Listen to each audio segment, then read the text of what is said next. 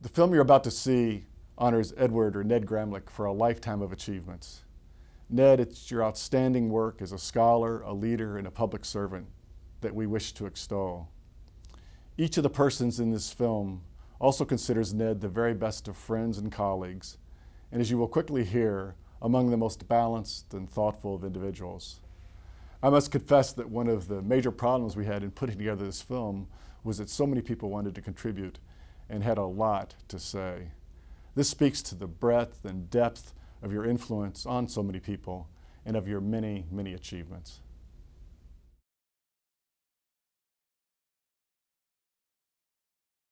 I'm Harvey Galper, and I've known Ned now for over 40 years. From the time I first came to Washington in 1966 to work on the staff of the Federal Reserve Board. And Ned was there on the staff as well, having joined it just the year before. In fact, I am pleased and proud to note that on, on, on Ned's uh, CV, our joint article on forecasting defense spending was the very first piece that either of us had, either of us had done uh, and which was published. And I can say that although I might not have launched his career, at least I did not sink it. Uh, Ned's work at the Federal Reserve Board, the five years that he was there, was very, very important work. And he was involved in a project which is one of the best and largest projects that the federal government had sponsored in economic research. The project was developing the Federal Reserve Board macroeconometric model, and Ned was a very major contributor to that effort. The model was sometimes called at that time the Federal Reserve Board Penn MIT model because also participating in the effort were Professor Albert Ando at Penn and Professor Franco Modigliani at MIT. So it was clearly a major and important research program. The purpose of the model was to explore the various channels through which monetary policy affected the macroeconomy. And Ned wrote several pieces about the model, both as articles and as a book, in addition to being responsible for one of the major sectors in the model itself. That sector was the state and local sector, in which Ned incorporated various real world aspects of that sector into the model, such as the constraint under which state and local governments had to operate, as well as the as as a result of the laws which prohibited borrowing for current expenditures, and and also their capital expenditures, which were influenced by monetary policy because of the cost of funds that they had to incur to construct these projects. One important thing to note about Ned's work is that at the Fed, the projects he got involved in informed much of his research from that time on. Not only was he interested in major macroeconomic issues, but he became quite expert in various aspects of research related to the state and local government sector, including the effect of grants on state and local government, fiscal federalism generally, both in the United States and in other countries, and the delivery of services via government to uh, individual citizens. After he left the Fed, uh, for, uh, for, after being there for five years, he then went on to be the Director of Research at the Office of Economic Opportunity, where he again continued his interests in service delivery mechanisms, in this case for education, as well as on the effects of various types of grant programs on state and local governments. I was fortunate enough to receive a grant from OEO to explore some of these issues of how local governments responded to various types of grants and was again co-author with Ned of a number of pieces in that area. So I would say that one thing about Ned is his early work informed much of his later work, and he had developed into what I would say is one of the finest public policy economists of our generation. I am pleased to have known him and worked with him over the past 40 years and regard him not only as a valued colleague, but as a wonderful, devoted friend.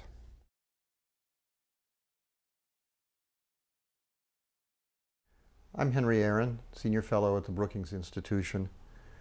It's a real pleasure, along with some of Ned Gramlich's many, many friends, to have a chance to pay tribute to his outstanding career and his many valuable and enduring contributions to economics and to public policy, and to join with those who simply like him because he's a genuinely good human being. First, I have no doubt that it would have been possible to assemble a very long recording if even a small fraction of Ned's friends were included uh, in this celebration. Ned's a rare bird, a really smart guy who is entirely uninterested in strutting his intelligence, who works on problems that are substantively interesting and important, and who tells you what he has found in simple, straightforward language. I've known Ned for about 35 years. I think we met when he was Director of Research at the Office for Economic Opportunity, perhaps earlier, but for sure when he joined the Brookings staff in 1973.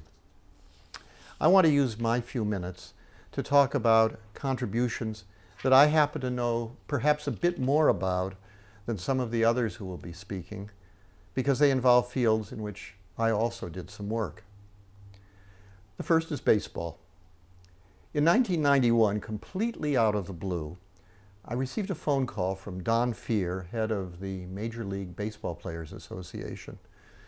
Don asked me whether I would be willing to serve on a commission to study the economic future of baseball. My first reaction was, who's playing a joke on me? Hank Aaron, baseball, ha ha. But it turned out it wasn't a joke, and I said yes. At the first meeting, it became clear that the commission badly needed a research director. It was going to gather a lot of information, and the information needed analyzing. I suggested Ned. Coming from me, a player-designated member, uh, my suggestion was suspect to Bud Selig, who was uh, the commission co-chair appointed by the owners, uh, and uh, to the owner-appointed members of the commission, uh, Paul Volcker and Peter Goldmark.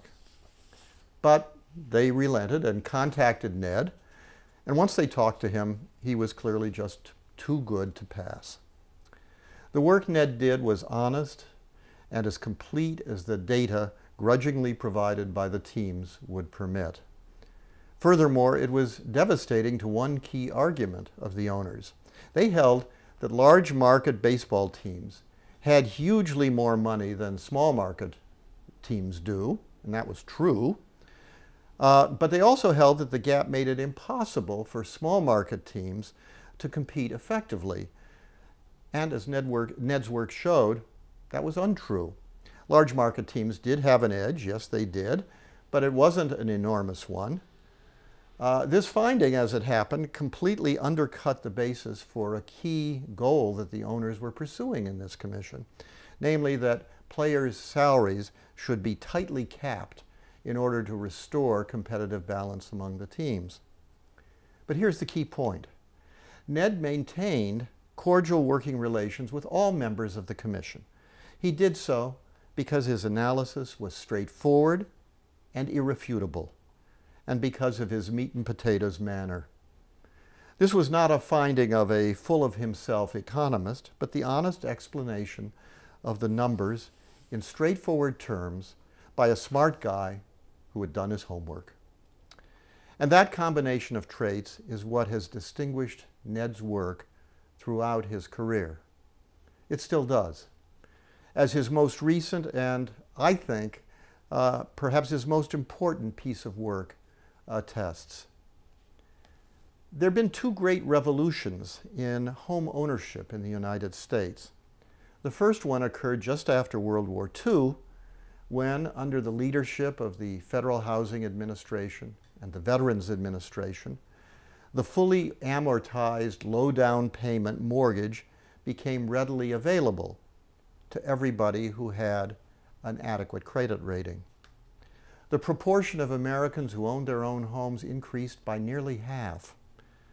My first book at Brookings happened to deal with those policies. But this revolution did not encompass those with poor credit ratings. The excluded groups included many low-income whites, but disproportionately comprised African Americans and Hispanics. They were routinely denied home loans. Whole neighborhoods were redlined. Now, part of the problem was blatant discrimination, but most of it, in fact, was created by well-intentioned but harmful laws and regulations. So in the mid-1990s, a number of new laws, federal and state, removed constraints that had forced such limits and introduced incentives for, these new laws introduced incentives for lenders to open up what has come to be the so-called subprime mortgage market. The result? Homeownership rates jumped again. Not as much as they had done a generation earlier, but still enough to represent something of a revolution for low and moderate income families, especially minority group families. There was an unfortunate side effect, an increase in defaults and a spread of some very serious marketing abuses. While at the Federal Reserve as a member of the Board of Governors, Ned was in charge of the group that oversaw some of the lenders making those loans. Early in this decade, as the economy softened, defaults among subprime lenders, uh, mortgagees, shot up. And uh, at that point, uh, many people wondered whether the whole experiment with subprime mortgages uh, maybe had been a mistake. So when Le Ned left the Fed, uh, he set to work to chronicle what had happened, why the subprime market is worth preserving, what went wrong, and what to do about it. He wrote up the results in an easy-to-read, practical guide to legislators and regulators on what to do to preserve the gains in home ownership resulting from these subprime mortgages and to reduce or eliminate the problems that have recently been widely reported in the press. I think that this book may be Ned's most important piece of work. It deals with a policy that directly benefits tens of millions of Americans and that brings economic justice to groups that have suffered and continue to suffer various forms of discrimination. The book is clear, it's easy to read, and it is persuasive. It encapsulates Ned's career. It incorporates solid scholarship, a record of public service, an unerring eye for issues that count, and a resolute refusal to distract readers with unnecessary academic jargon or pretensions. Ned, the economics profession needs more like you.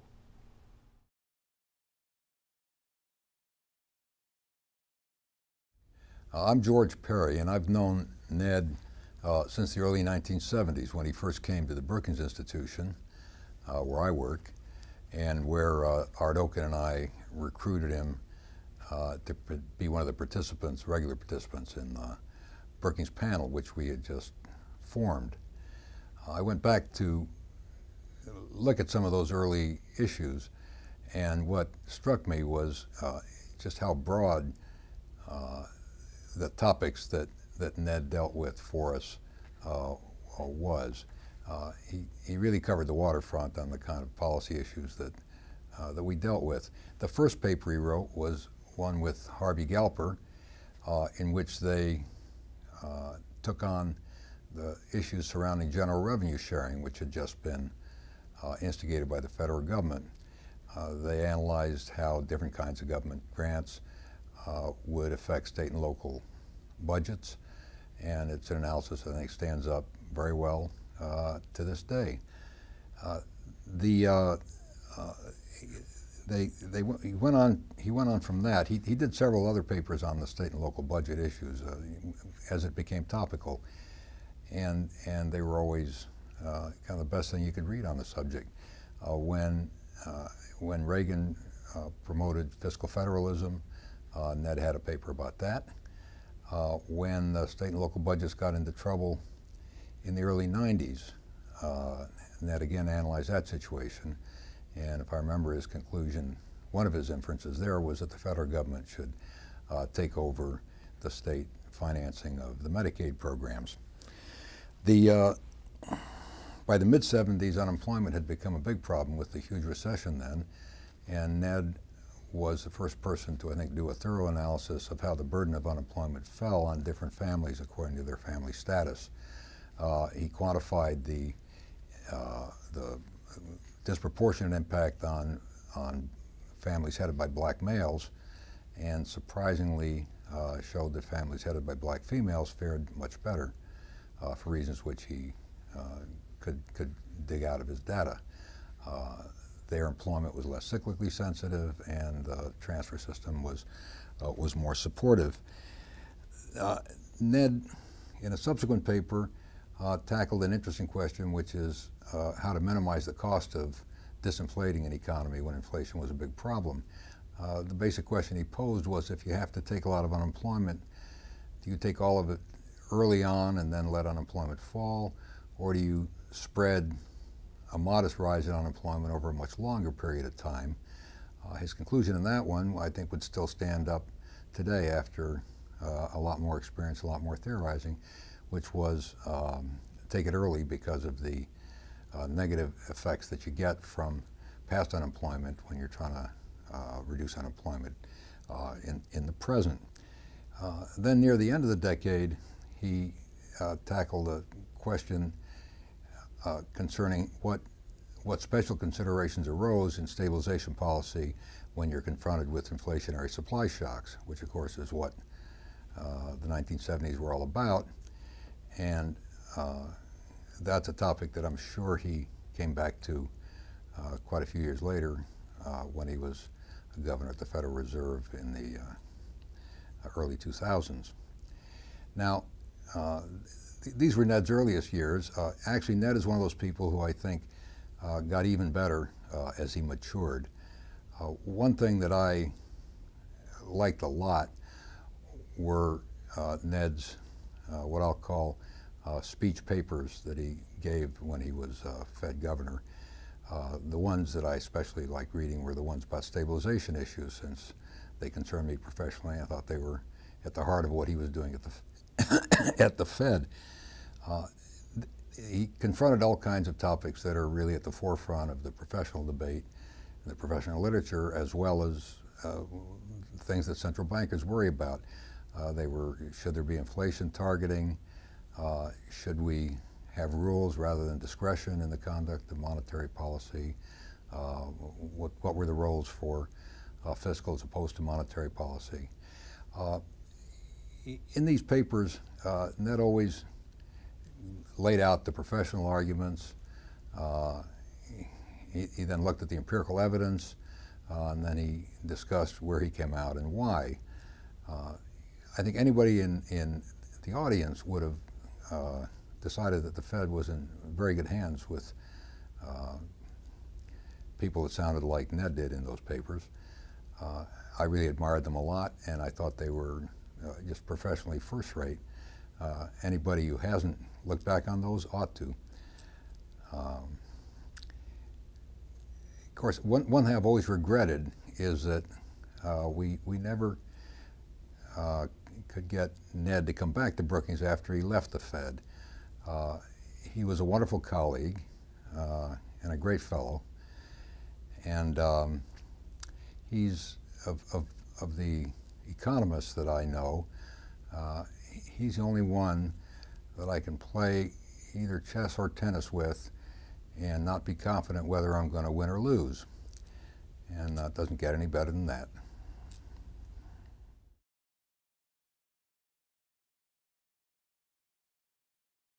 I want to stress two aspects of Ned's economic research and policy making. First, through all of his career, Ned has focused himself on real world issues and problems. That research of his routinely uh, incorporates advanced econometric and analytic techniques. But Ned never was for churning out the economic equivalent of finger exercises he's concentrated his life's work towards gaining a better understanding of how the economy actually works, typically with the objective of figuring out how economic outcomes could be improved with better policy through realistically feasible and usually incremental steps. To borrow a pertinent comment from, comment from Alan Blinder about Robert Solow, Ned Gramlich has dedicated a large part of his career to the proposition that economics from the real world, for the real world, and of the real world shall not perish from the earth.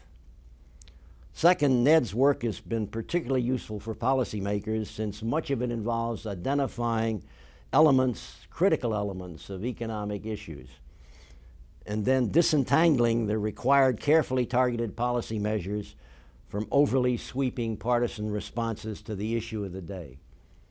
One example was Ned's seminal research in intra-governmental grants. During the often very partisan debates in the early 1980s about the proper form and extent of federal grants to state and local governments, Ned carefully laid out the theoretical and empirical case why income distribution programs need to remain heavily, even if not solely, a federal responsibility. That went down not at all well with the conservative right. But at the same time, he spelled out the analysis and assembled the data which showed that funds distributed by the federal government to state and local governments through narrow categorical grants typically, after a while, ended up diverted into the general revenue coffers of the recipient governments. And as a consequence, of course, those programs very often accomplish very little towards the objectives they were designed for. Ned's ability to sort through a major public policy issue so as to separate the wheat from the chaff and the baby from the bathwater is particularly strong in his recent book that was just published by the Urban Institute on the subprime mortgage market. Finally, a personal anecdote that captures a bit of Ned's quick wit.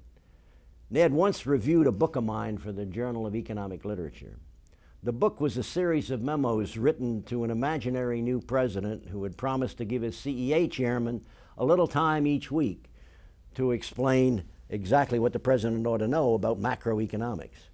Ned's opening paragraph immediately captured the essence of the problem. Slightly abbreviated, it went something like this My evaluation of this book is close to the usual evaluation of Columbus's trip to the New World. Did Columbus find India? No. Was the trip worthwhile? Yes.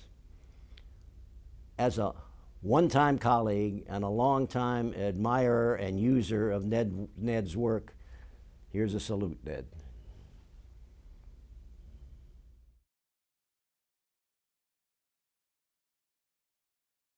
I'm Alice Rivlin. Like Ned, I'm an economist who cares deeply about making public policy better. Indeed, I've always thought of Ned as a kindred spirit, I think because we had so many interests in common a wide range of policies that we thought were worth working on. These include state and local finance, a very important subject that doesn't get the attention it deserves, educational functioning, federal tax and budget policy, monetary policy, and Social Security, to mention just a few.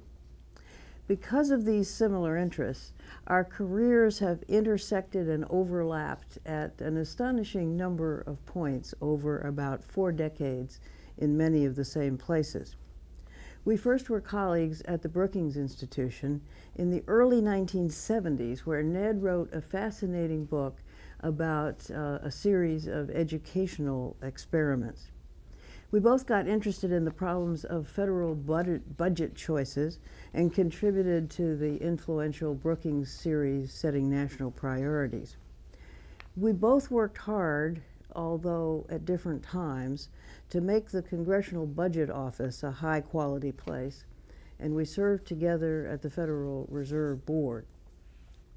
I just looked over Ned's publication list. It's an awesome list.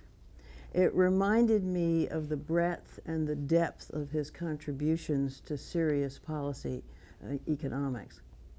I was astonished at how many of his books and articles I remembered well, reading and at the time thinking, wow, that's really good analysis, and it's analysis of an important subject. So I see three consistent themes in Ned's career. First, he does really solid, thorough analysis, no sloppiness, no cutting corners. Second, he works on really important subjects. If and when we screw up our national courage uh, to fix the Social Security system, the path chosen will have been illuminated by Ned's work. The same goes for the federal budget deficit and for the subprime lending problem, among others. Third, Ned understands that institutions matter, and they don't work well without a lot of effort to enhance their morale and set a standard of quality. The Congressional Budget Office, the Federal Reserve, the University of Michigan are just three of the institutions that are stronger because Ned was there and committed a lot of his time and energy and intelligence and common sense to making them work better.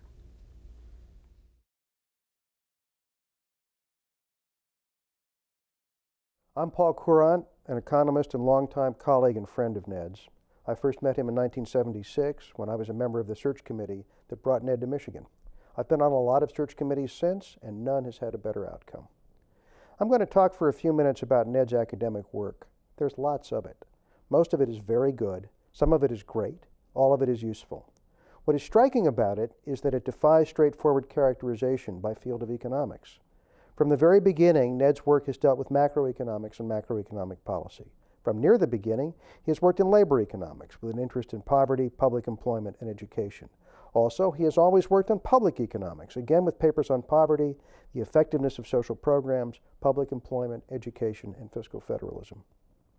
The public economics then unites with macroeconomics via monetary and fiscal policy, subnational macroeconomic policy, which Ned more or less invented, and throughout a concern with national saving and economic growth. And then there is Social Security, housing, economic policy on three continents. The list goes on. Indeed, to read the titles of all of his papers would take longer than I'm going to take in this discussion today. Ned's style of work is by turns empirical, theoretical, comparative, institutional, methodological. The analysis is both positive and normative, and Ned is admirably careful to label which is which. The unifying theme of Ned's work is public policy, rather than any single field or small subset of fields, or method or small subset of methods. Ned himself belongs in any who's who among applied economists in the last 40 years. But even more important, his CV reads like a what's what of the important problems in public policy economics of those 40 years.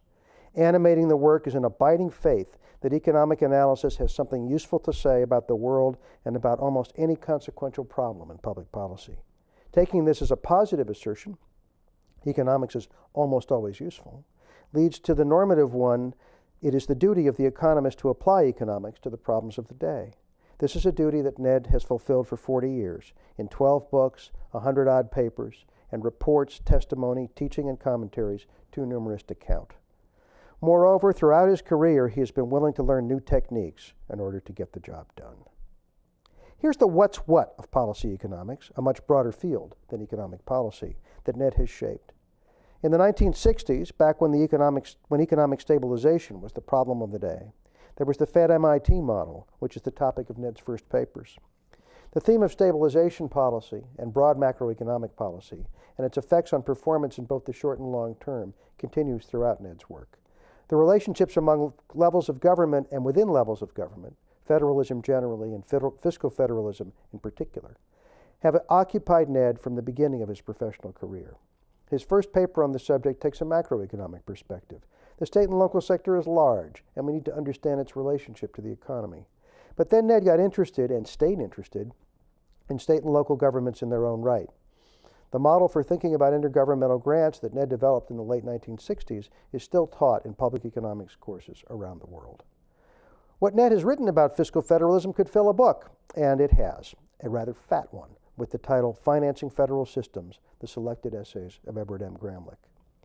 And when New York City's fiscal crisis hit the news in the 1970s, who better to sort it out than Ned Gramlich, who could combine macro and state and local public economics, and whose American Economic Review paper was widely reprinted. By the way, that was his job market paper at Michigan, with happy results for me and my colleagues, among many others. Pick a major area of social and economic policy, and there's a body of work by Ned Gramlich. Unemployment, social experiments, public sector employment and social choice, income distribution programs in general, the minimum wage in particular, tax limitation, the demand for public goods and services, welfare, both as we know it and as we knew it, the Tax Reform Act of 1986, the consequences of bu- budget deficits in five different decades, the performance of teachers, education finance, Social Security, subprime mortgages. To have commented wisely on the problems of the day over so many days is a remarkable achievement. To have written what is often the first intelligible paper on a real world problem after on real world problem after real world problem, setting the model for work that followed, is extraordinary. To have been right consistently almost all of the time on such a variety of issues is astonishing. It has been my privilege and pleasure to work with Ned on perhaps a dozen projects over the years. He is both a wonderful and a difficult co author. Wonderful because he is full of good ideas and always willing to do more than his share.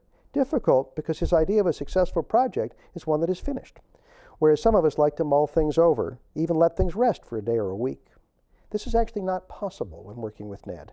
If he is responsible for Section 2 and I am responsible for Section 3, and we agree to exchange drafts on Wednesday, there's a draft of Section 2 on my desk on Monday, and very likely a draft of Section 3 on my desk by Tuesday. Part of the reason that Ned works so quickly is that he says things only once, with the result that his work is rather terse. Where I would want to repeat something towards the end of a paper under the realistic assumption that the reader would either have skipped over it or forgotten it, Ned would credit the reader with his own remarkable powers of concentration. We said it on page four, and that should be good enough. I conjecture that our joint work has more information per page than work that I have done without Ned, and less work and less than work that he has done without me. On this occasion, I get to repeat myself. I said at the outset that Ned is always careful to separate the positive from the normative. He is scrupulous about keeping the analysis clean, but it's clear that the motivation for his work is consistently normative. It's about policy. How can we make the world work better? What should we be doing to advance the public good? What we should be doing is applying what might be called the Gramlich theorem of policy economics. There are problems out there. The intelligent and creative application of economics to those problems will yield understanding and provide direction for policy. It follows that we should engage in the intelligent and creative application of economics. This is exactly what Ned Gramlich has been doing for 40 years.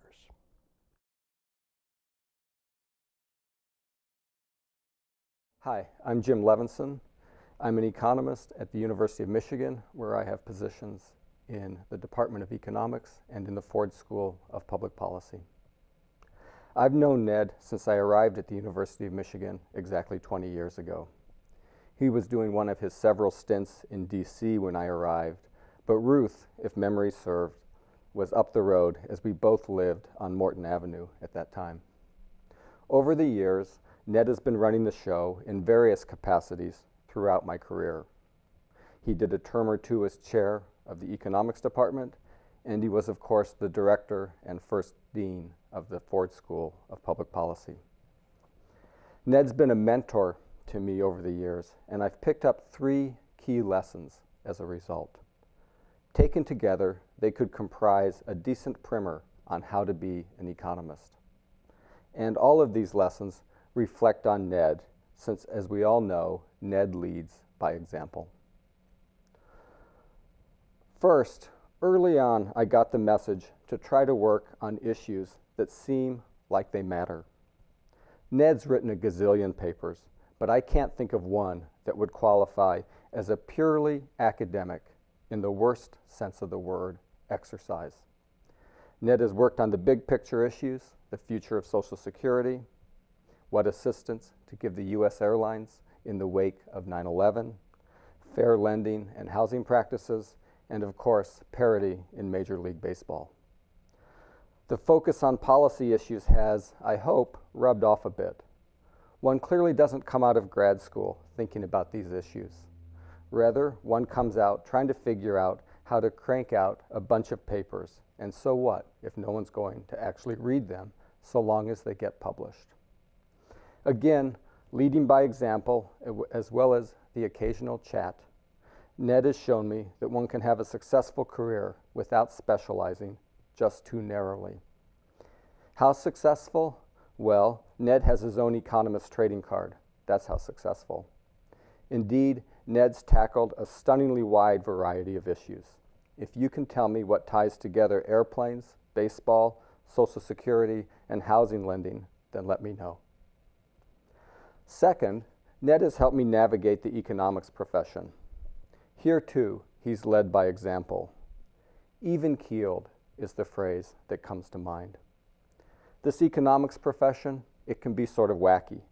What passes for normal is, at times, pretty scary if one steps back a bit. But Ned has helped me keep this in perspective. Recently, I was at a meeting with a head of state and a half a dozen economists, pretty famous folks, all. Each of the economists was trying really hard to make the case that their policy idea was the really important one.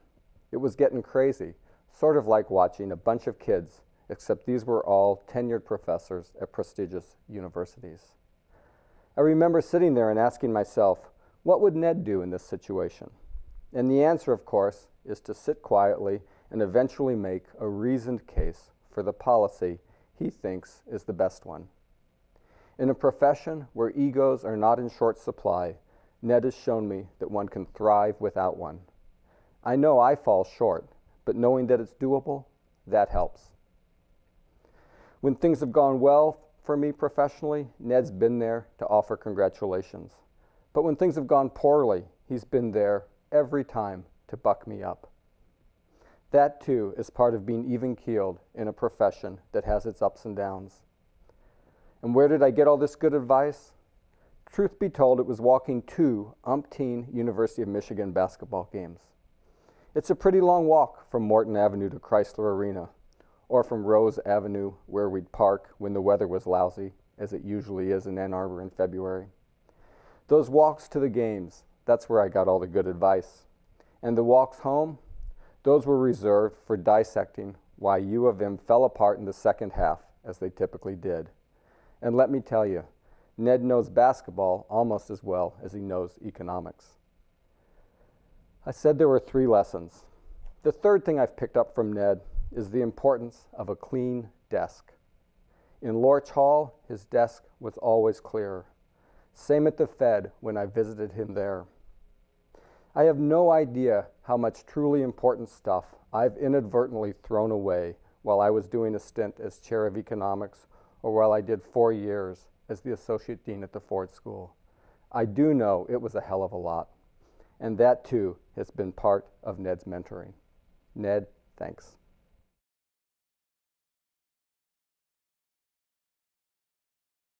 My name is Kristin Seefeldt, and I'm a researcher and assistant director of the National Poverty Center at the Ford School.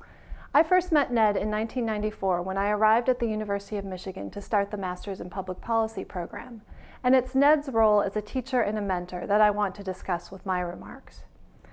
For many years, nearly all students passing through the policy program encountered Ned in the classroom, perhaps because they took his macroeconomics course or because they used his book, A Guide to Benefit Cost Analysis, in the required class of the same name. In fact, many students often wondered if the decision to purchase this rather small but expensive book was their first exercise in benefit cost analyses. However, it's a testament to the staying power of Ned's work that not only has this book been reprinted, it's also one of the few books from graduate school that students that are still seen on the shelves of many MPP alums.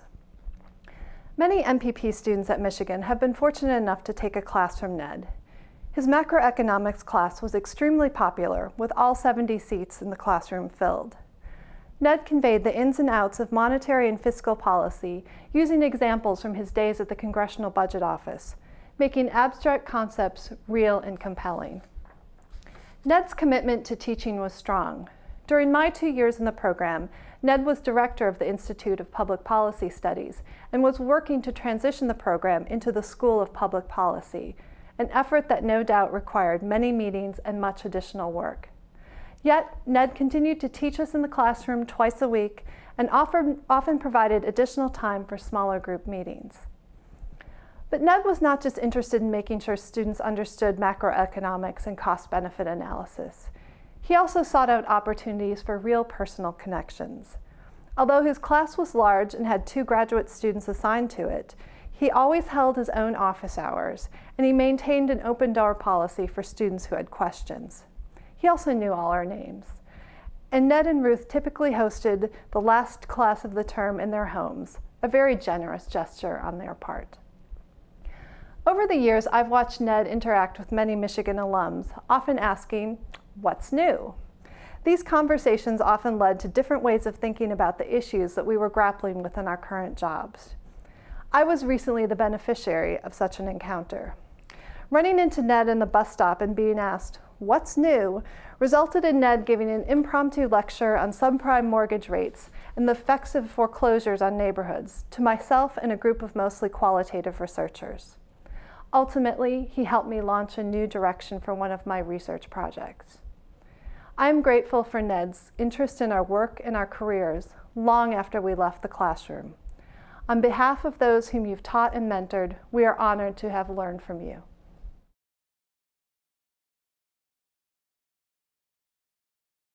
I'm John Chamberlin, a faculty member at the Gerald Ford School of Public Policy, where I've been a colleague and a friend of Ned's since he joined the public policy faculty in 1976. All of us in the school have benefited enormously from Ned's presence among us for 30 years as a colleague, teacher, and leader. As director of the Institute of Public Policy Studies and as the first dean of the School of Public Policy, he provided both intellectual and institutional leadership that built the foundation on which the current school stands. Ed was also a vital force in nurturing and sustaining the sense of community that made the public policy program at Michigan a wonderful place to be a faculty member or a student. Ned's course on benefit cost analysis was at the heart of our curriculum. All of our students took it, and they all took away from it a personal attachment to Ned that continues to this day.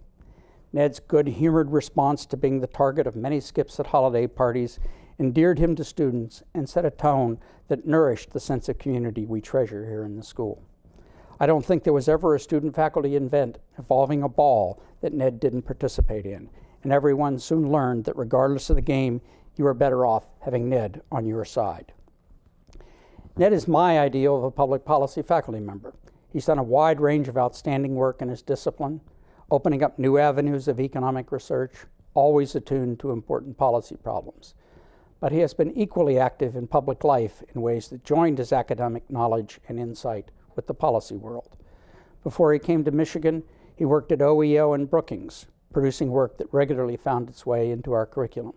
Later, he spent two years at the Congressional Budget Office, chaired the Quadrennial Advisory Committee on Social Security, and topped it all off with his appointment as a governor of the Federal Reserve System. Along the way, he served as staff director of Major League Baseball's Economic Study Committee, the assignment I envied most. In all of these instances, Ned set a wonderful example for his colleagues and his students. He tackled important policy problems and he demonstrated over and over again that outstanding policy analysis, rooted in economics but sensitive to the broad range of forces shaping public policy, could make a difference that affected the lives of millions. As a teacher, he cared deeply about his students and the commitments they were making to careers in public affairs. As a colleague and leader, he was inquisitive, supportive, and committed to the mission of the school as a locus of broad ranging social science inquiry on the important matters facing our society. As a friend, he has been all this and more.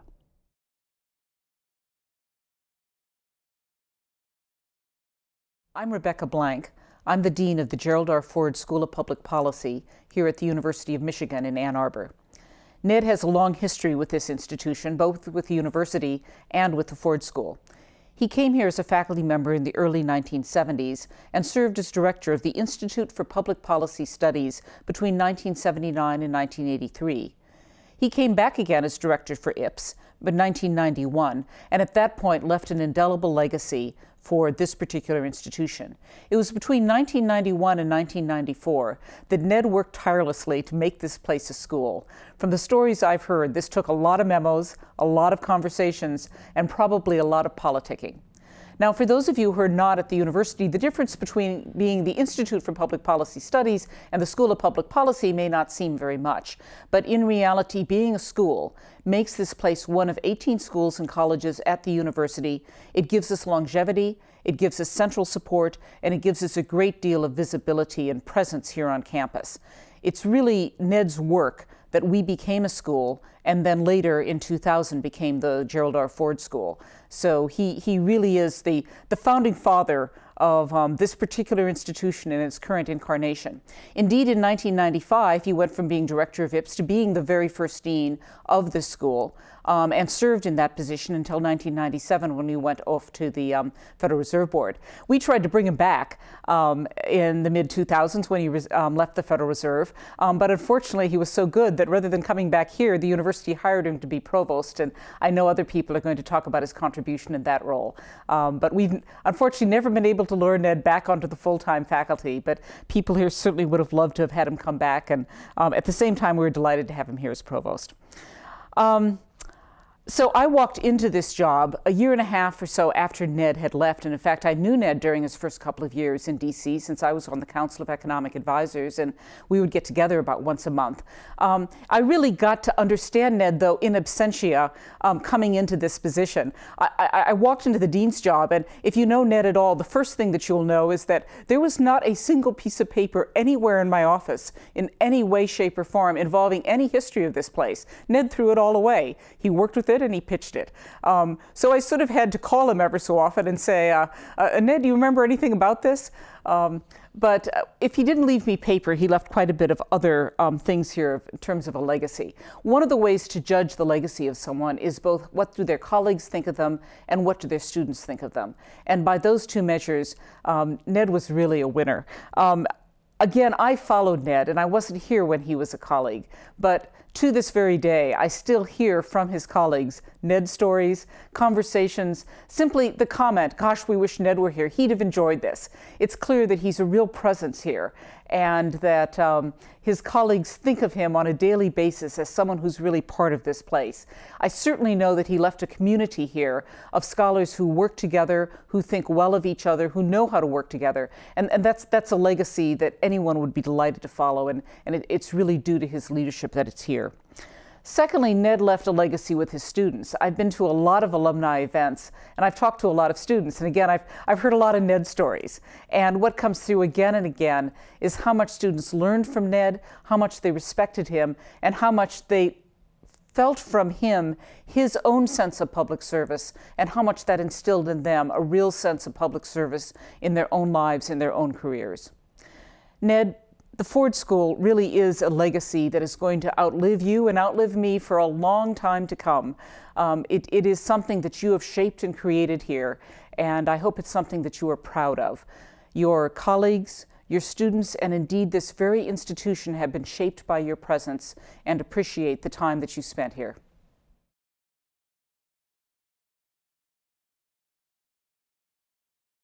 Hi, I'm Marvin Krislov. I'm the Vice President and General Counsel at the University of Michigan, and I'm soon leaving to become the President of Oberlin College. Ned and I got to know each other when he was the provost um, at this university, and I had heard about him from my sister-in-law who had worked with him in low-income housing and told me what a fine person and what a great leader he was.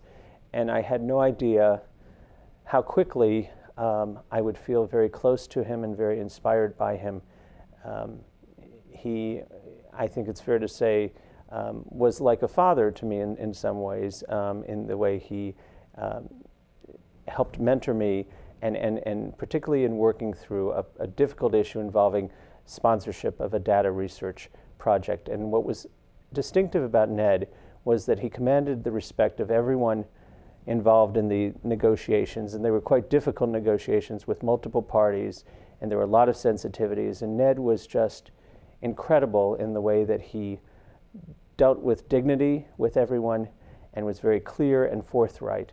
And at the end of the day, we got what was a very positive outcome for both the university and, and for the party um, that we ended up working with. Um, but it was that sense of decency, that, that, that, that integrity that I came to rely on. And one of the things that was distinctive about Ned is that at executive officer meetings, many people would duck if there was something that didn't look like it had gone particularly well. And Ned was completely different. Ned would always say, Well, I guess that was my responsibility, and, and I need to go back and work on that. And that was just always a hallmark of the way Ned was as provost, that he would take responsibility. If there was a problem, he would fix the problem, he would own up to it, and he would always deal with people very candidly and, and with great um, integrity, which, which is, is the word that I keep thinking of when I think of, of Ned. Um, I think others probably have talked about his vision, others have talked about his seeing the future in terms of universities and budgets. Uh, but I guess that I would say that, that my um, overwhelming uh, experience um, with him as, as provost and as a friend is just this sense of decency and honesty and, and complete um, uh, lack of, of, of ego when it comes to trying to do the right thing. And uh, that's why he is the quintessential Michigan man, in my view. And he has left um, wonderful um, friends um, in here, and, and he, he knows that. And, and Ned and Ruth, you know that Amy and I um, have uh, enjoyed um, the times that we've spent together, and, and we commend Ned on his many, many years of service to this institution and to this country.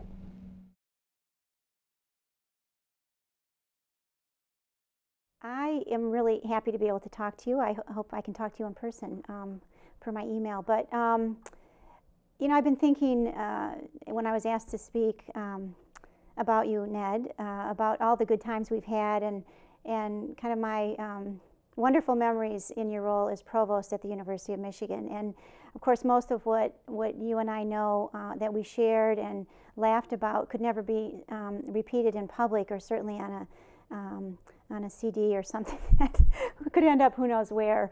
Um, but I, I, I, do know there are some things that I can say wherever it gets uh, heard, and that is, um, you know, you did such a great job as provost, and I know that uh, the executive officers, the deans, the regents, so enjoyed uh, your tenure as provost, and I know I personally. Uh, really enjoyed it. I'm not sure I'll ever have as much fun as I did when you were in the role. And I think um, you know, one of the reasons, uh, a major reason, is because you have such a great sense of humor. And, and I think I do, and we both knew that a lot of the situations we had to deal with um, really required a sense of humor, and if you didn't have it, you weren't going to uh, survive. Um, I remember vividly one of my first uh, interactions with you. You must have been a provost for a day, a week you called me on a Friday night. I was just gotten home. It was about six o'clock. I was just changing into my weekend attire. Uh, I was up in the bedroom. My cell phone rang, so I went running to the cell phone. And I remember vividly a discussion with you about, um, let's just say, a project that you thought was really kind of a no-brainer, a way to refund um, a research project in ISR and it was you know pretty much a slam dunk you were enthusiastic i said it sounds great you said well let me uh, can I talk to the board? And I said, that sounds great to me. Well, little did I know that when you said you were going to talk to the board, you were going to start talking to people immediately. And the next day was a home football game. I remember it well. I was at the tailgate with hundreds of hundreds of people. And by the time I got there, a half hour late, you had already, you know, talked to at least half the board about your project, cornered them, uh, probably got, if you'd talked to four regents, at least four different opinions. By early the next week, you would talk to all of them, or perhaps by halftime of the football game. Uh, had at least eight different opinions by then, if not 10. And I think what you thought was going to be a, um, you know, two hour project, kind of a slam dunk, we're going to do this, it's great, became a project through the duration of your term as provost, as you know all too well the subject of many informal discussions, many one on one conversations, conversations with lawyers, back and forth um, ad infinitum. And uh, I think it was toward one of your last days in your uh, tenure as provost that that uh, two hour project finally um, was wrapped up. And with great success, not pr precisely, I think, as you had anticipated it would at the beginning, but all in, in, in good and due course. Um, I also really enjoyed um, our one-on-one meetings uh, with, you know, the secretary and provost meetings to plan the regent's agenda, and uh, more important to me and maybe to you and to our mental health, um, the sidebar conversations we would have about some of the interesting characters and situations we had to deal with um, together and individually, and some of the nuttiness, frankly, about uh, you know what we what we do. Um, that was always the most fun and a great release because uh, when you kind of get beat up all day or all week and, and then you can get together and sort of laugh about it and, and put it in a different perspective, um, that was always helpful to me anyway and hopefully to you.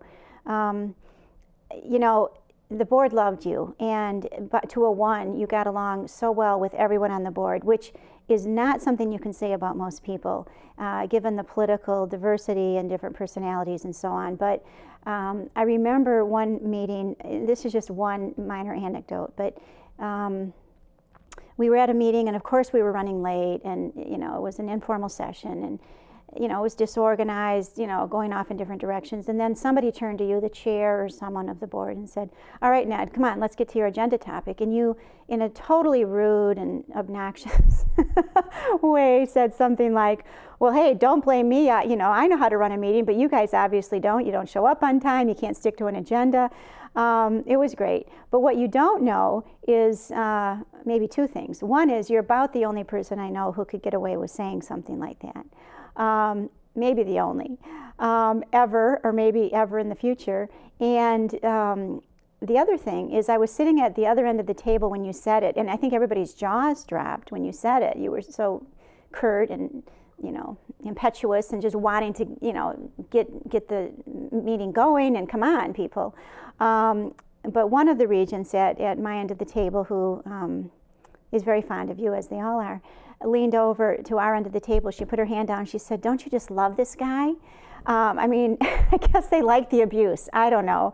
Um, but it, it, worked somehow. Um, I, on, a, on, a, slightly more serious note, um, I do think, uh, and I think many people feel that you had many, many legacies as, as provost at Michigan in your short tenure as provost, but I think that the one that is really most uh, outstanding and will be remembered, you know, for many, many years and, and will, has really set a precedent for many years to come is the um, financial planning retreat that you organized, that you did a ton of work for in December, I think it was January of your um, year or so as provost. And that was a really good retreat, and in fact has become, um, I guess I'll dare say, a custom now, um, or a practice that they have come to depend on as an opportunity to really think long term, big picture um, about the financial viability and health and future of this great public institution. And um, you know, you just did such a fabulous job, and I think as an economist, it was such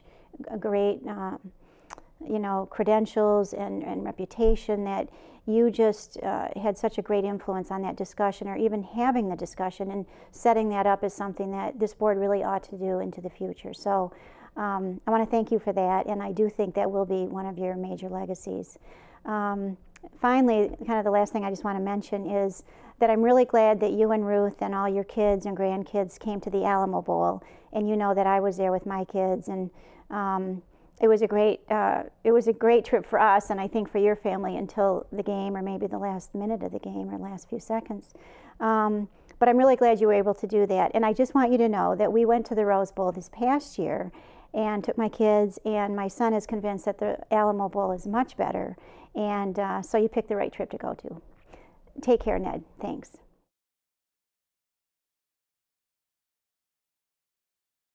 Hi, I'm Ken Wade, CEO of NeighborWorks America, and I'm pleased to be able to be here uh, to talk about some of the contributions that Ned Gramlich has made. I met Ned in 1999 when, be, when he became a board member of uh, NeighborWorks America uh, in his role as a Board of Governor of the Federal Reserve.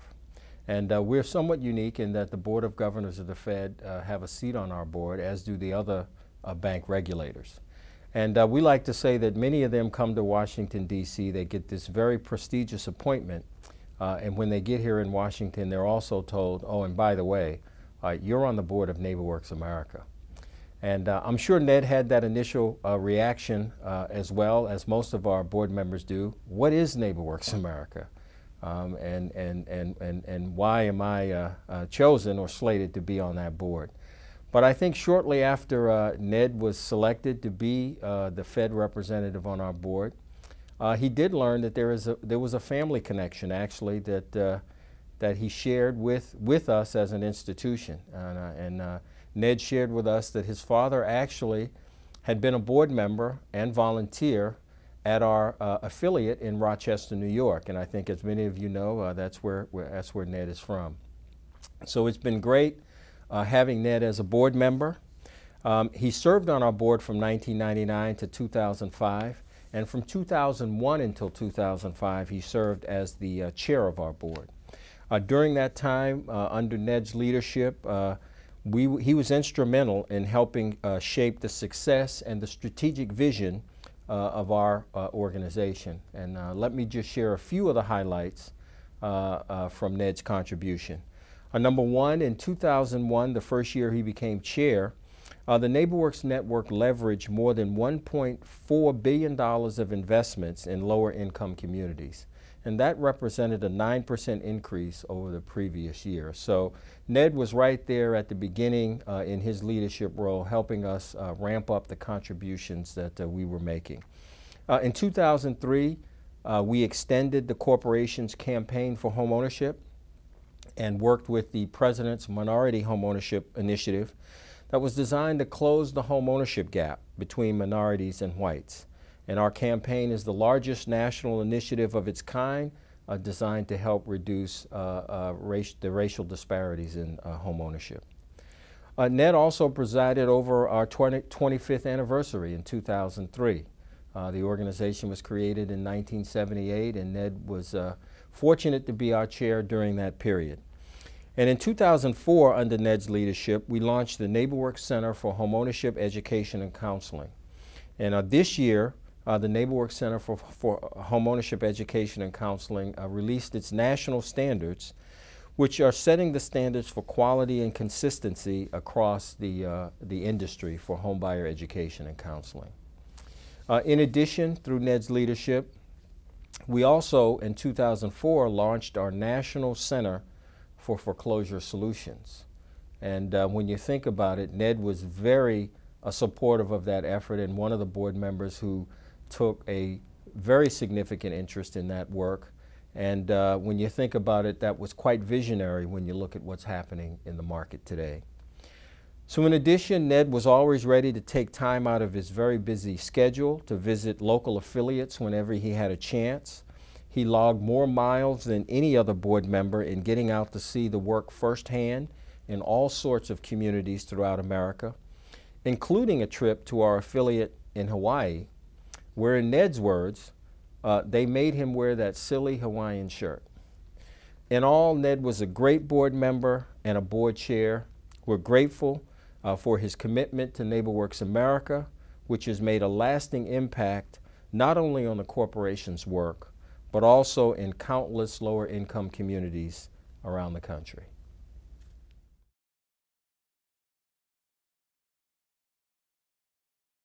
I'm Bob Reischauer, president of the Urban Institute, uh, where Ned Gramlich is currently the Richard B. Fisher Senior Fellow and uh, has been in that role since uh, August of 2006. Uh, but Ned and I go back uh, much longer, uh, both as friends and on again, off again colleagues at various organizations. we first uh, became friends uh, in 1973 when we were both uh, members of the economic studies staff uh, at the Brookings Institution. Looking back over uh, the last 34 years, uh, two things stand out. the first of these is Ned's intellectual versatility and the wide range of professional expertises that uh, he has developed. Ned, uh, in many ways, uh, is to the world of public policy what an Olympic gold medal decathlete is to the world of sports. He's filled a wide variety of uh, roles, uh, all of which have been uh, very challenging, and he has performed in each of those roles at uh, the very highest of levels, making significant contributions to each of the organizations uh, of which he has been a part. He's been a policy analyst uh, primarily at uh, the Brookings Institution and at the Urban Institute. He's been an academic economist uh, at, uh, the Mich at Michigan, both as a professor and a department chair. He's been an academic uh, leader uh, as provost, as institute director, as a dean uh, at, the Michi at Michigan. And he's been a central banker with the Board of Governors of the Federal Reserve. He's been an important leader at several government agencies as the Director of Research at the Office of Economic Opportunity and uh, where I care the most uh, as the Deputy Director and uh, the Acting Director so for some very critical uh, periods at uh, the Congressional Budget Office. Been an important shaper of policy as a chair or a member of numerous government and private commissions uh, commissions that have dealt with a very, very wide uh, spectrum of issues ranging from Social Security to baseball to housing uh, to the future of the airline industry.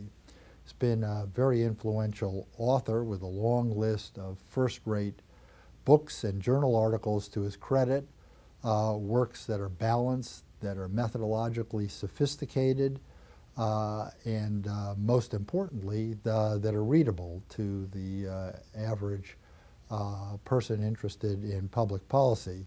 Uh, it's not uh, a difficult thing to explain why what Ned has written has influenced so many different policy debates, and certainly the latest of his contributions illustrates all of this only too well uh, and that is the uh, Urban Institute book that uh, he's just written on uh, the subprime mortgage market, uh, balanced, uh, showing the pluses and the minuses of the experience that this nation has been through. any one of these roles would have constituted a pretty remarkable career for most ambitious uh, policy analysts uh, in Washington. Uh, but Ned has uh, been in them all and uh, done exceptionally well. The second thing that uh, really stands out about Ned is really best described by the reactions that I received from the staff of the Urban Institute when Ned joined us a year ago in August 2006. Very few people on the staff knew Ned personally, uh, but his reputation was uh, known by all. They uh, realized that this was a really highly successful, uh, top of the uh, game uh, policy analyst whom they all looked up to. For the first month that Ned was at the Institute, I had staff members almost every day, uh, coming up to me, sticking their head in my office, uh, people who were vice presidents, people who were senior researchers, research assistants, secretaries, uh, people on the administrative staff, in other words, people at all levels. And they had uh, one reaction uh, to Ned, uh, who they had been anticipating coming on board for over a year, but it was a little bit delayed because he went to uh, Michigan to fill in uh, the provost's role. And this one reaction was, gosh, uh, Ned Gramlich is a really nice guy. Uh, he seems to be interested in uh, what I'm doing. He seems to be curious about virtually everything uh, related to public policy and to uh, just uh, general happenings in the world at large. Uh, he uh, is helpful, he's generous with his time, uh, he's relatively low key, he seems to be unflappable, he seems to be so polite. in a town where most of the people who are extremely successful have some sharp elbows, an edge to their behavior, a shortness when they're dealing with others who can't help to pave the way uh, to the top. Uh, Ned really stands out as a uh, wonderful individual, somebody who is uh, exceptional uh, in uh, the humanity with which he deals with everybody. Somebody who virtually everybody would say, boy, I'd like to be that uh, person's friend. And I uh, find myself uh, extremely fortunate in that I've been able to say, I've been a good friend of Ned Gramlich's. We've uh, shared a lot of laughs. We've shared uh, some uh, good discussions about public policy. We've shared some gnashing of teeth over uh, political developments in this country. And uh, we've had this relationship for uh, three and a half decades. And for that, I'm wonderfully grateful.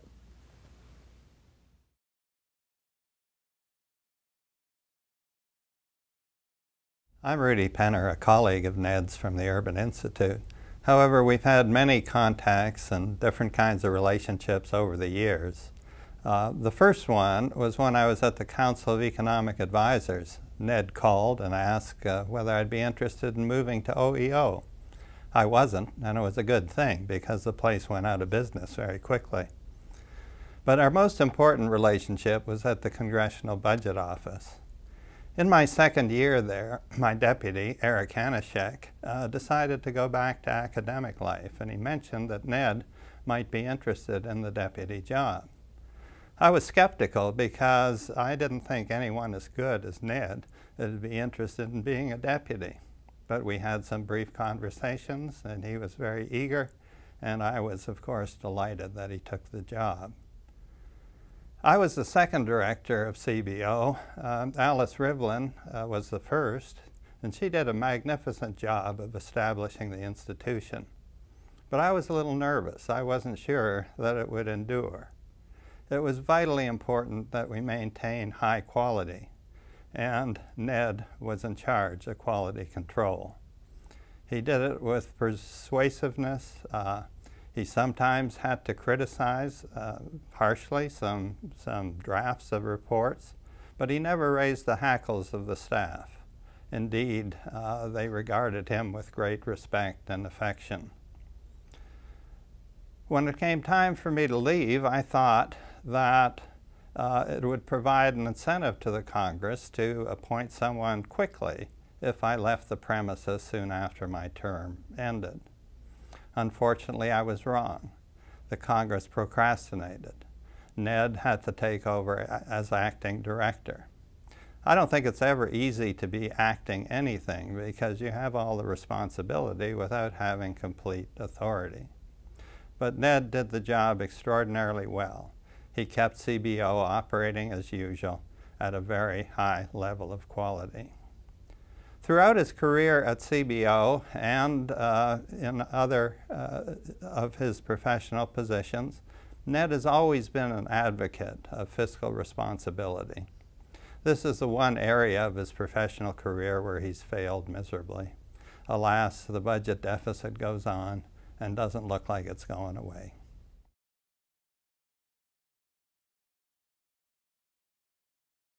I've known Ned personally for quite a few years now, but we grew especially close uh, through three interactions more recently. In each of these, what has uh, stood out so clearly has been Ned's extraordinary ability to seek out the right answers or approaches to public policy, his unique ability among researchers to let his modesty work in his favor by recognizing where our knowledge was limited, and finally, his overall balance. You know, the Greeks held that balance was among the most essential of all elements, that it led to uh, justice and it led to harmony in society. Ned stands out as much as a political philosopher to me as an economist. Now, one major interaction with Ned was when he served as chair of the Advisory Commission on Social Security between 1994 and 1996. Some people remember this panel because of the divergence of views between the two camps, those who wanted to basically keep the system as it was, and those who wanted to do a major uh, conversion of it into a personal account system. Ned continually tried to strike a balance, and he proposed and promoted a third way. Now, he only got one vote besides himself for this third way, but the other two approaches, while they were often creative and often uh, uh, intellectually rigorous at some level, At other times, they just failed because they didn't achieve balance. And I can tell you that to this day, most people believe that it's the Gramlich approach to Social Security reform that's going to win out in the end. What I remember also from this interaction, though, is that Ned just wanted to find out the right answer. He had no arrogance about it. He had no problem asking people questions. He had no issue learning something new or changing his mind about different issues. Uh, he did not have a preconceived notion of what he wanted to achieve other than he wanted to serve the public with the best possible Social Security system that we could have. A second source of interaction was when we worked together on a book called The Government We Deserve. Ned led, led, the work on examining issues having to do with income distribution, and three others of us uh, led on some other chapters. Now, the story on income distribution is actually much more complicated than most people uh, actually tell, and the historical changes uh, are actually somewhat complex. Ned was able to take this story and weave it in a way that it was understandable, but yet without dodging the intricacies. He didn't take the shortcuts. Uh, again, what we saw in all of his work was just this extraordinary balance. And finally, uh, a most recent interaction with Ned has been since he's joined uh, the Urban Institute very recently in 2006. Ned immediately jumped into an effort we had underway in studying asset development, especially for low and moderate income people. Uh, and he stood out once again in terms of his thoughtfulness, his eagerness to tackle new problems, and his wisdom. Uh, and in fact, this is shown in one of his major outputs, which came about very quickly, which is a book on subprime mortgages that was published in July of 2007. I want to relate one conversation that I had with Ned that I've never forgotten. We were talking about the appropriateness of different levels of learning, such as a P getting a PhD or the level of academic research necessary to do good pub public policy. Ned made it very clear that he felt that for many jobs a PhD was not appropriate, that in public policy the goal was to get the right answer for the public and that the goal in academia was often to prove that you've been creative or original, even if it sometimes led to wrong conclusions. He just cared about getting the right answer. The bottom line, Ned is just one absolutely terrific person.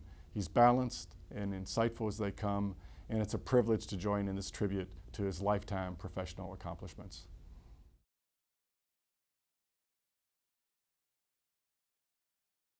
My name is David Wilcox. I'm an economist at the Federal Reserve Board. I got to know Ned when he joined the Federal Reserve as a member of the Board of Governors in 1997. At that time, I had in fact left the board to join the Treasury Department on the hope and understanding that the administration would take a very serious run at reforming the Social Security system and that I would be part of the team that would uh, participate in that effort. One of the first documents that we assigned ourselves to study in order to bone up on the analytics of Social Security reform was the report of the Advisory Council that Ned had chaired and uh, that had published its report in the previous year.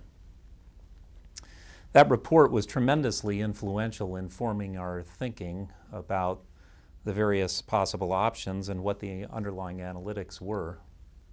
Some years later, after I had returned to the board, I was having a conversation with Ned about Social Security reform, and I underscored how helpful my colleagues and I had found the Council's report. I remember very clearly Ned expressing some regret that the Council had not been able to come to consensus and put out a single reform proposal. But I said then, and I still firmly believe now, that the Council, in fact, performed a far greater service by laying out three fully articulated and very different approaches to Social Security reform. In taking that approach, I think they made a far greater contribution to the ultimate cause of Social Security reform than they would have if they had somehow managed to forge a single unified proposal. I still believe that when the nation comes back to Social Security reform, as inevitably we must, the report of the Gramlich Advisory Council will be one of the key source documents that future staffers will study in order to bone up on the issue. And that the plan that is ultimately adopted will probably bear a very close resemblance to the one that Ned put forward in that report. Three weeks from tomorrow, I will have the privilege of reading on his behalf the keynote address that Ned was scheduled to deliver at the Federal Reserve's annual symposium in Jackson Hole, Wyoming. This will be one of the greatest honors of my life, and I'm immensely proud to do it on behalf of one of the very rare economists who has the eyes to recognize what is around him, the mind to analyze what he sees with rigor and honesty, and the heart to encourage all of the rest of us to do something about it.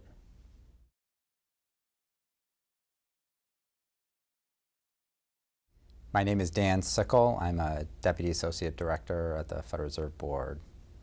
So I met Ned first in 1981 when I was a uh, student in the public policy program at the University of Michigan, then known as IPS, now known as the Ford School. I actually knew of him from long before that. Um, his family lived uh, just two blocks up the street from where I grew up in Ann Arbor. And my older brother also was a student at IPS, so I had heard Ned stories for a good number of years. At IPS, Ned quickly became a role model for me when I was a student there. Uh, I was terrifically impressed by his uh, sharp intellect, his powerful ability to focus on what's important, his passion for making the world a better place, and his really fun, self-deprecating sense of humor. He's one of the rare people I've known about whom I always thought, I want to think like that person thinks. One of the most important things he did for me at Michigan was to persuade me to go on to economics graduate school and save me from going to law school. I have a very vivid memory of a conversation with Ned is in his office at Rackham uh, at Michigan. And at the beginning of the conversation, I was law school bound, and at the end of the conversation, I was economics graduate school bound. I know Ned also had a powerful influence on the careers and lives of many other students at Michigan. So our professional lives crossed again when Ned came to the Fed as governor, where I'm an economist. After September 11th, Ned became the chair of the Airline Loan Board, set up by the Congress to grant loan guarantees to airlines that had suffered losses as a result of the terrorist attacks. I was the Fed economist assigned to work with Ned in his role as chairman. And it was a wild ride. At the beginning, there was considerable uncertainty about whether a number of airlines would fail, and a lot of folks expected that the loan board would just shovel money out to the airlines. In a sense, the loan board became one of the central uh, features of the airline industry for a period of a year or two when, when the board was first set up. So Ned handled the substantive and political aspects of this job in a masterful way, um, always maintaining focus on the key substantive issues despite the considerable political noise in the background. Perhaps the most momentous event, and certainly one of the most interesting uh, for the Airline Loan Board, was United's application for a loan guarantee. Despite all sorts of craziness surrounding this issue, including not so subtle political pressure to approve United's application from Treasury Secretary Snow and Speaker of the House Hastert, um, Ned ultimately prevailed and the application was turned down. And in part, he did this by persuading the member of the board from the Treasury Department to vote against his own secretary in the Treasury Department. It was really extraordinary. Uh, so Ned's political skills here were sufficient to outfox the Secretary of the Treasury and the Speaker of the House. And at the time, many people involved were quite surprised that Ned managed to pull this off. Um, by this time, I really wasn't surprised because I'd seen Ned in action enough that I knew he could, he could pull this kind of thing off. Uh, and Ned didn't just do this for the game of it, for the sake of winning, but he did it because of his passionate desire to ensure that public policy was focused on making the right decision rather than satisfying a particular constituency. And from my experience, that's a key hallmark of Ned's professional career. So once again, I had the chance to watch Ned and work with him from up close, and once again, I found myself thinking, I wish I could think like he thinks.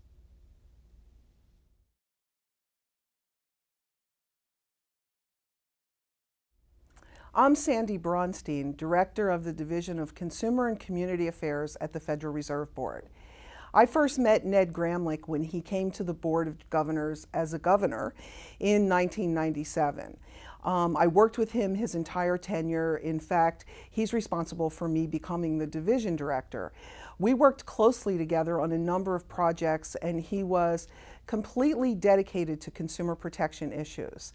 Um, foremost among those issues had to do with housing and at that time grave concerns about predatory lending. Ned shepherded through two very important rulemakings for the Federal Reserve.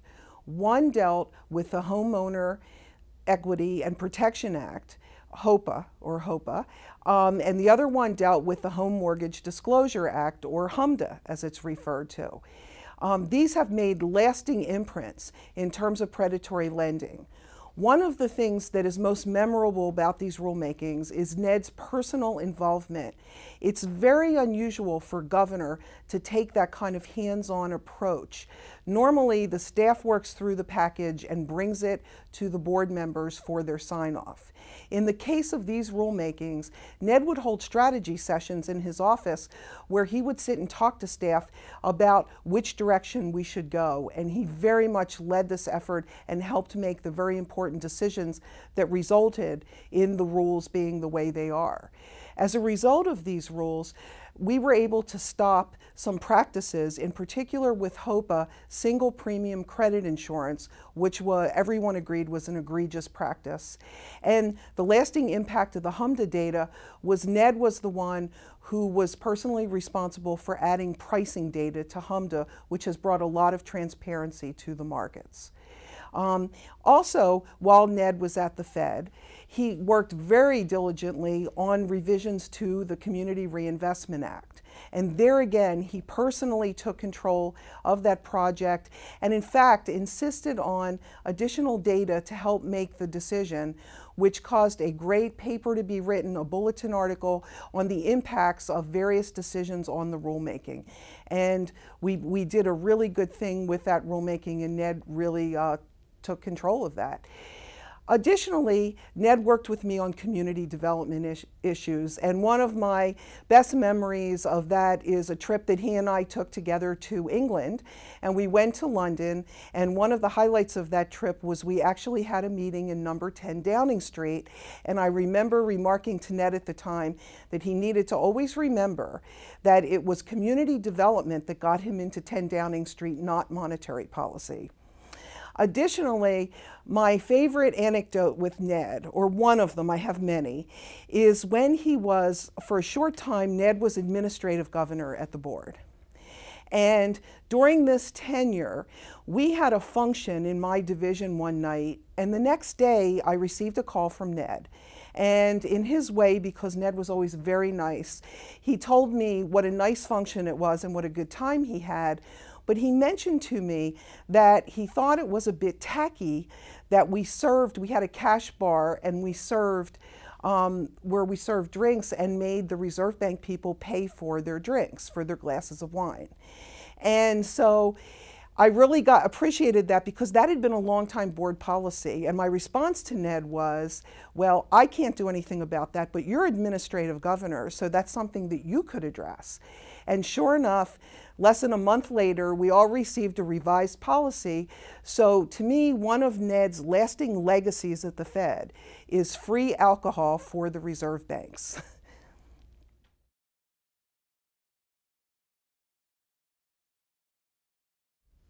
I appreciate this opportunity to say a few words about my good friend Ned Gramlich. During our nine years together at the Federal Reserve Board, I was impressed by many things about Ned. As many have noted, he is a well-respected economist, expert on all manner of issues, from fiscal policy to Social Security, from the structure of the discount window to the economics of baseball, and countless things in between. In addition to his many contributions and insights in the monetary policy arena, Ned took on a number of challenging assignments during his years as a governor of the Federal Reserve Board. For example, he volunteered to chair the Air Transportation Stabilization Board in the wake of the terrorist attacks of 9-11. In government service, I can think of few tasks that are more thankless. He handled it with exquisite deft. In fact, when faced with policy challenges more generally, Ned was invariably undaunted. He rolled up his sleeves and got to work. He showed a deep understanding of and appreciation of, for the nuances and complexities of public policy making. This was most evident for me as he led our efforts as the chairman of the board's Committee on Consumer Affairs. During that time, he steered the board to make important improvements to the Home Mortgage Disclosure Act and the Home Ownership Protection Act. I was touched by a line in Ned's resignation letter to the president in the summer of 2005. In it, he said that his experience at the Federal Reserve was one he would treasure always. Indeed, that word treasure is appropriate. Ned is a treasure for many of us. Ned Gramlich is a true gentleman. His involvement in any discussion brings an immediate and palpable civilizing effect. We all value Ned's keen insights, his good humor, and his lively mind. It was a pleasure and an honor to engage in public service with Ned, and I am proud to count him as a friend.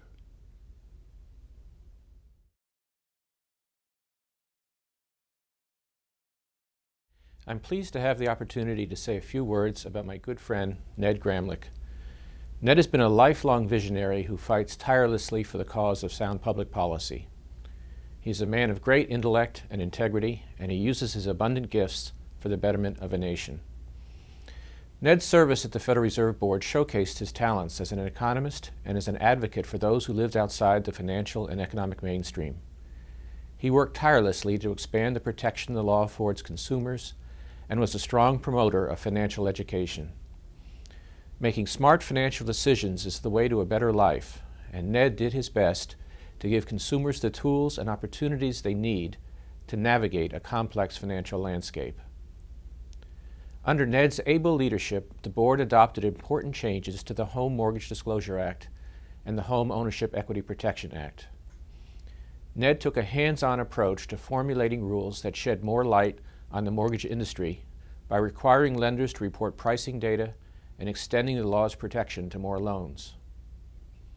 Ned navigated some difficult waters in leading the charge to streamline the Community Reinvestment Act's reporting process for intermediate-sized banks.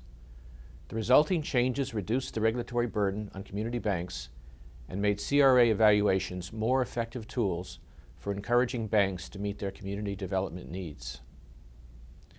During his tenure at the Federal Reserve, Ned was actively involved with the board's Consumer Advisory Council and demonstrated his commitment to community revitalization by serving as a chairman of the board of the Neighborhood Reinvestment Corporation, now NeighborWorks America.